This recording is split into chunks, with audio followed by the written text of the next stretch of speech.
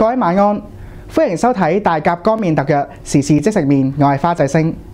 今日係二零一八年六月七號星期四，同大家睇下一則國際新聞啦。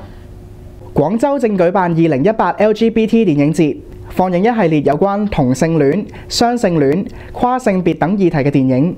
根據網上資料，過去大陸境內有多次公開舉辦嘅 LGBT 電影節都被打壓冚檔。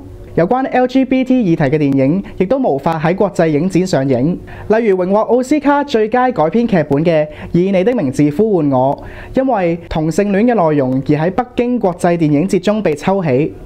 另一方面，亦都有唔少為 LGBT 發聲嘅網絡媒體被禁聲。面對大陸嘅打壓，點解會有班人會咁膽大包天搞一個 LGBT 電影節，無懼被消失嘅危機呢？正所謂上有政策，下有對策。今次一班熱心嘅人士舉辦 LGBT 電影節，將放映會分散到各個外國駐廣州領事館舉行。由於喺人哋國家領事館施行暴政，有機會發生國際衝突。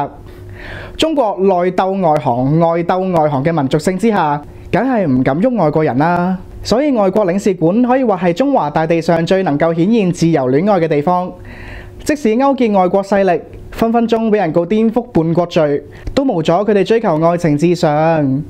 既然大陸境內嘅各國領事館可以播放一啲政權唔太允許嘅電影，睇嚟即將喺香港上映嘅小熊維尼真人版電影都有機會越過另一隻小熊維尼喺中國大陸境內播放啦。